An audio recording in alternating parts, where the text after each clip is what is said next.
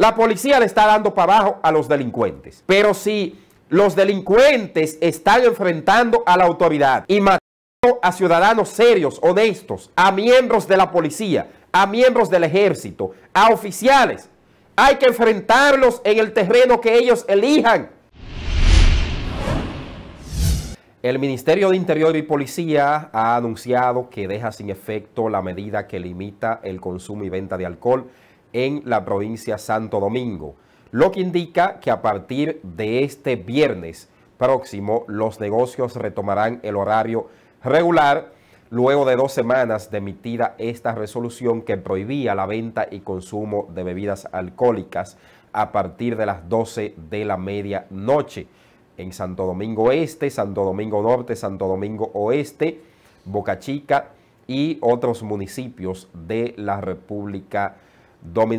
Esto tras llegar a un acuerdo con los propietarios de centros nocturnos de diversión.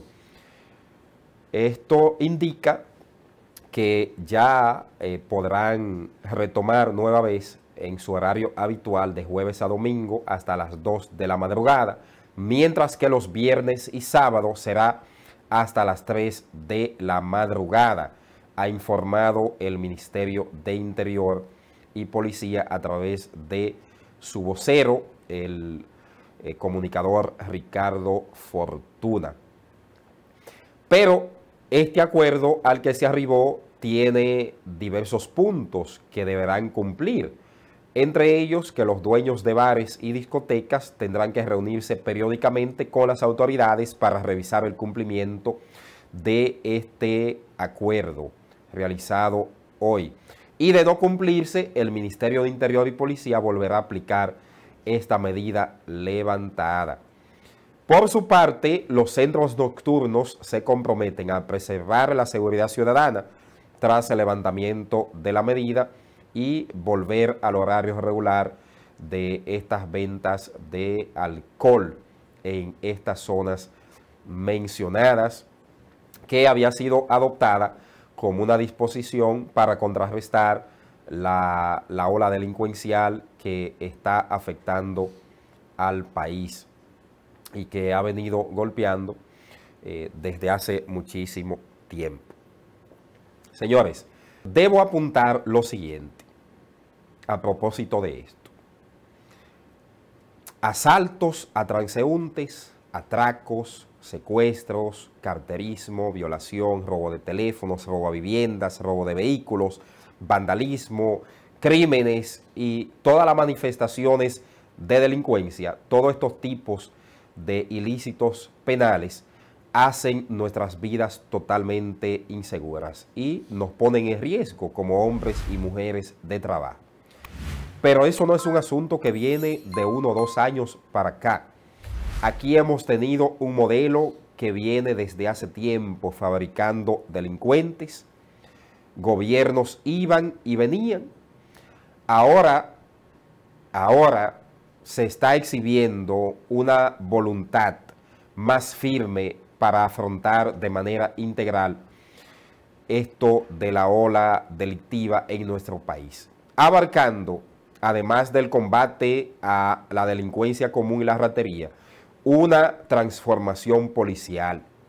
Porque las filas de la Policía Nacional, para nadie es un secreto que eh, ha existido delincuencia también y actos reñidos con la ley a lo interno de, la propia institución.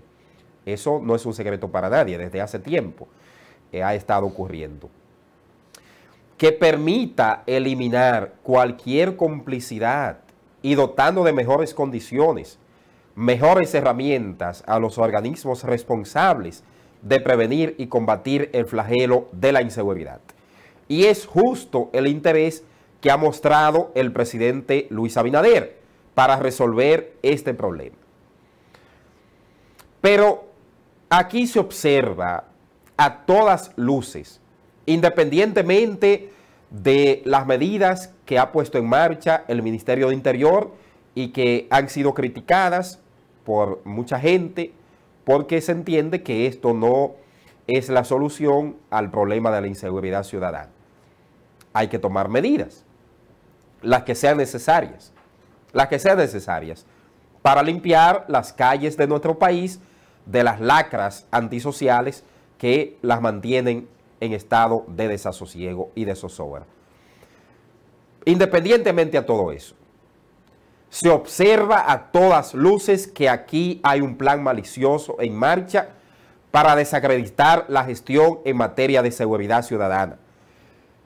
¿Por qué digo esto? Porque muchos de esos videos que se están difundiendo en la actualidad no son recientes y algunos son de otros países que nada tiene que ver con la República Dominicana. Hay una ola también a través de las redes sociales y de algunos medios de comunicación irresponsables por demás, que se dedican a propalar este tipo de falsedades y de videos que no tienen nada que ver con la realidad actual del país.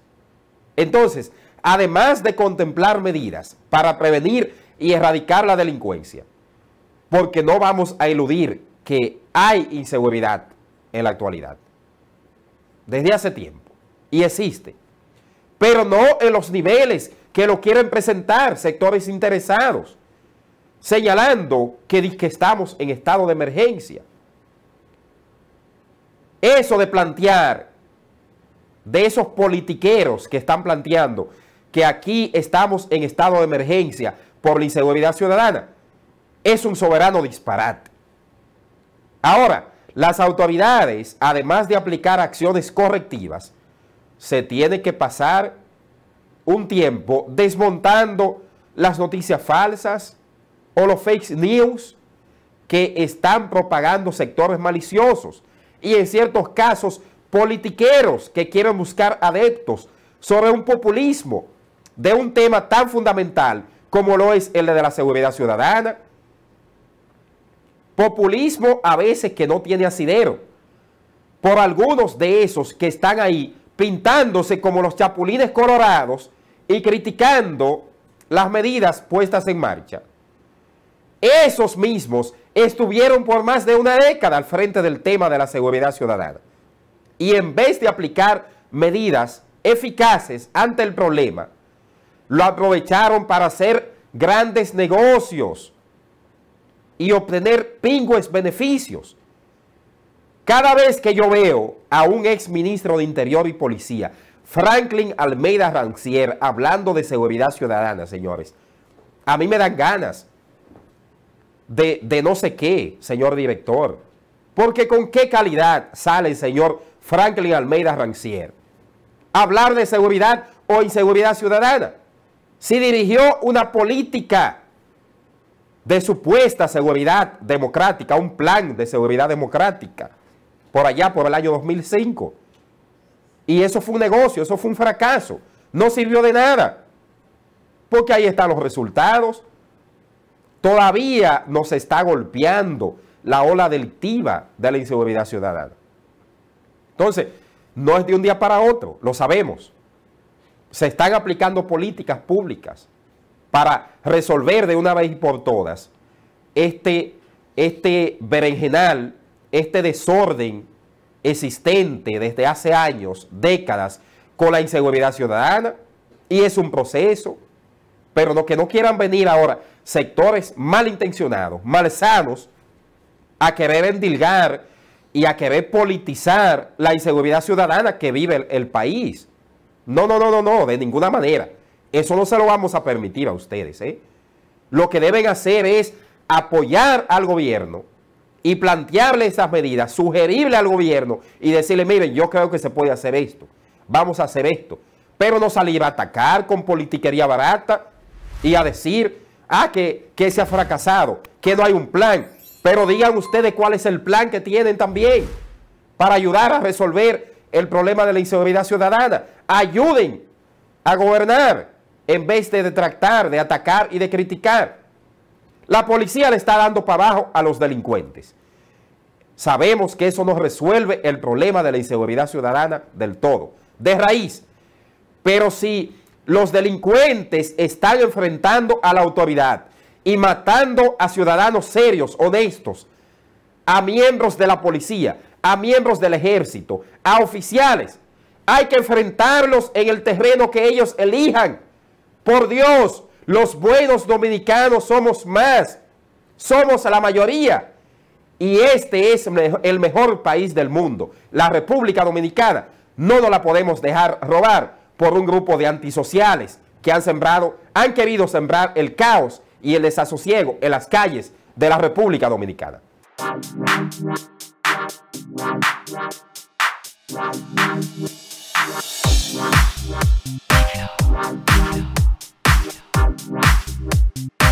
Thank